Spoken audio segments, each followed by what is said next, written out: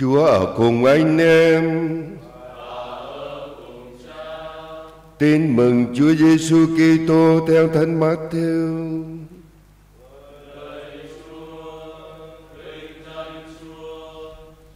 Một hôm Đức Giêsu nói với các môn đệ rằng, khi cầu nguyện, anh em đừng lại nhại như dân ngoài Họ nghĩ rằng cứ nói nhiều là được nhận lời Đừng bắt trước họ vì cha anh em biết rõ anh em cần gì Trước khi anh em cầu xin.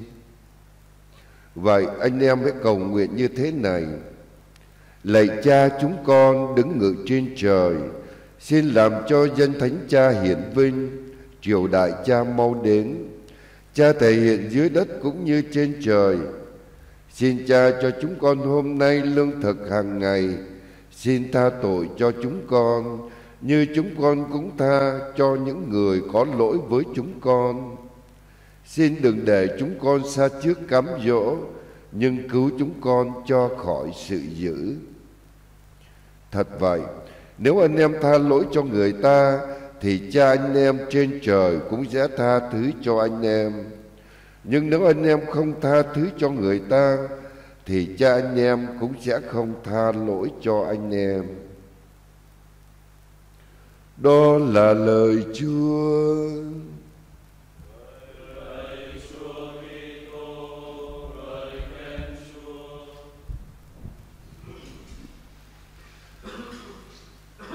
Kính thưa cộng đoàn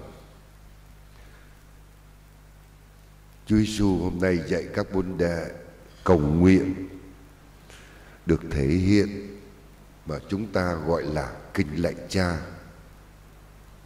Đó là kinh và là lời cầu nguyện của Chúa Giêsu đã dạy cho các môn đệ và cho tới ngày nay, chúng ta vẫn theo thể thức ấy để cầu nguyện. Đó cũng là điều mà để cho mỗi người chúng ta suy niệm Đó cũng là điều mà để cho chúng ta sống đời sống cầu nguyện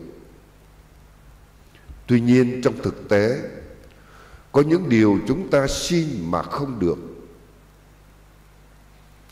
Tôi còn nhớ câu chuyện của Đức Hồng Y Hamisin Tổng giám mục của Manila. Cứ mỗi lần đi thêm sức hay là đi truyền chức hay là cứ đến là giảng một cái một, chỉ có một bài giảng một thôi. Đó là bài giảng, tôi xin mà Chúa không cho. Tôi xin sức khỏe, Chúa bảo không.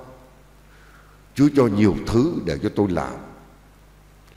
Tôi xin được bình an, Chúa bảo không Tao cho mình nhiều rắc rối, mày phải đối diện.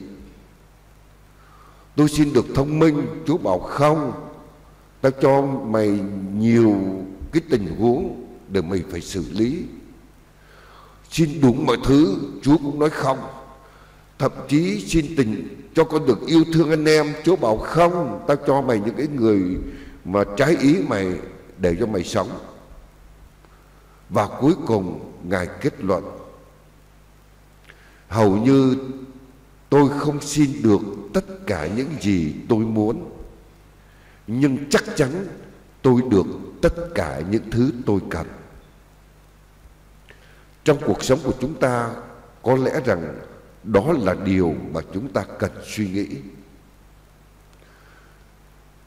chúng ta không được tất cả những thứ chúng ta muốn, nhưng chắc chắn chúng ta được tất cả những thứ chúng ta cần. Đó là điều có lẽ rằng ai cũng biết, nhưng cuối cùng mình không biết. Ở trong gia đình, một đứa bé chập chững biết đi, cũng bắt trước khóc đòi mẹ một con dao để cắt quả táo mẹ không cho, dỗi, hờn. Đôi khi trong cuộc sống của chúng ta chúng ta cũng đòi chúa một con dao chúa không cho, nhưng chúa cắt sẵn cho chúng ta.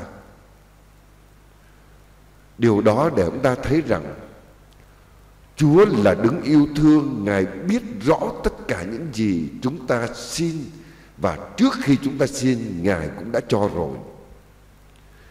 Xin tình thương của Chúa dẫn đưa chúng ta Để mỗi ngày chúng ta hiểu ra được rằng Thiên Chúa vẫn yêu thương, Thiên Chúa vẫn cho tất cả những gì chúng ta cần.